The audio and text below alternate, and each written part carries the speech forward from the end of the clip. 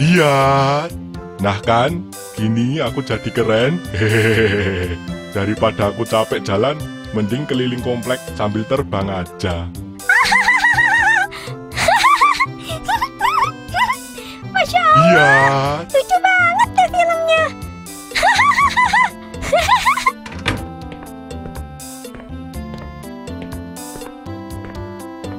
Assalamualaikum. Hah? Ih, Mas Jamal kenapa sih? Lagi marah kah? Mas Jamal lagi nyanyi, Dek. Nyanyi kok nggak ada nadanya sih? Aduh, ya Mas Jamal lagi marah lah. Kelihatan kan? Ih, Mas Jamal, serem deh. Leli takut. Ih, Ih, kamu nih, jangan nambah kesel Mas Jamal deh. iya. Maaf, kalau boleh tahu, emangnya lagi marah kenapa sih, Mas? Itu loh si Mauza, masa tadi di sekolah dia pamer mainan baru coba. Terus Mas Jamal nggak dipinjemin, katanya takut rusak. Dih, pelit banget sih, dasar. Uh, marah sama Mas Mauza. Iya, Sabar aja, Mas. Cuma mainan doang kok. tapi mainannya bagus banget dek. Mas Jamal pengen banget mainannya. Ih, keren banget dah pokoknya. Teman-teman sekelas aja pada lihat semua.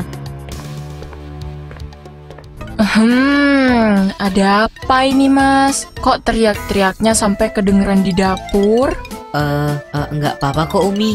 Mas Jamal lagi marah sama Mas Mauza, Umi. Gara-gara nggak dipinjemin mainan. Hahaha. Hehehe, Hus, kamu nih. Hihihi. bener itu mas. Iya Umi. Memangnya yang ndak dipinjemin cuma kamu sendiri? Apa yang lainnya juga mas? Semuanya sih Umi. Teman-teman sekelas mau pinjem juga nggak dikasih sama Mauza.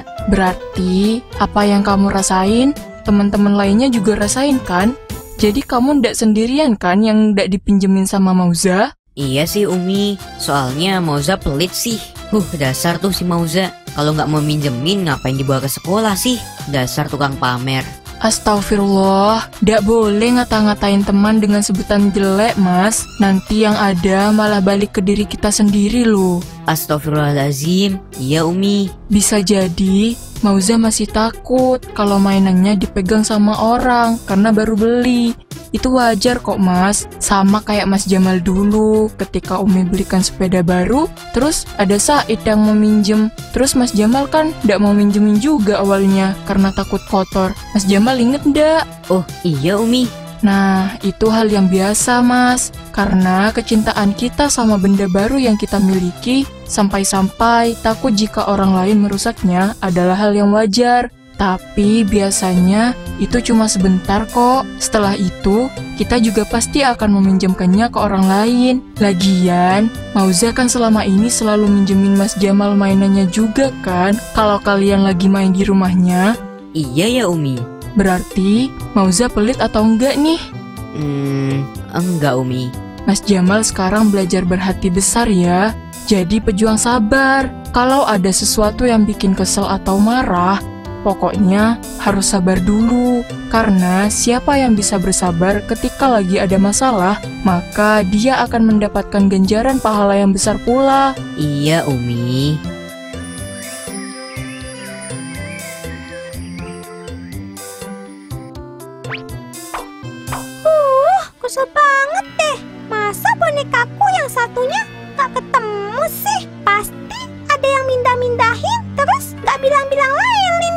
Jadinya hilang. Ih, sebel.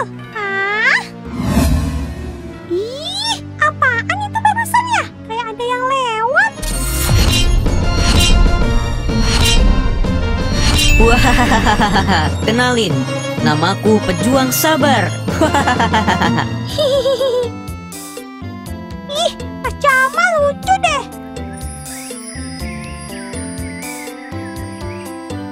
Oh iya, pejuang sabar punya sesuatu nih buat kamu. Tada! Masya Allah, boneka Leli akhirnya ketemu. Hmm, boneka sayang. Makasih ya Mas Jamal. Eits, bukan Mas Jamal. Panggil saya pejuang sabar.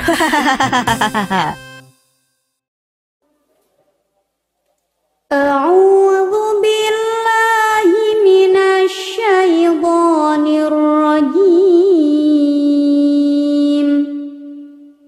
بسم الله الرحمن الرحيم. إنا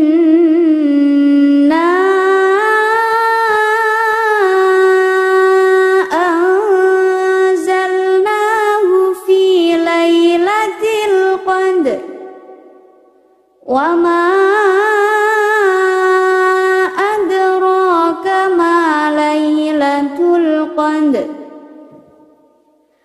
ليلة القدر خير من ألف شهر.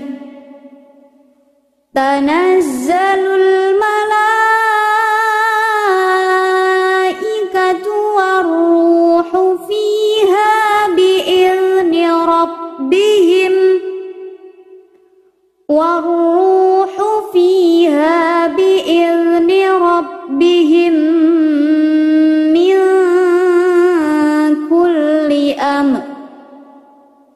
سلام هي حتى مضلع الفجر. صدق الله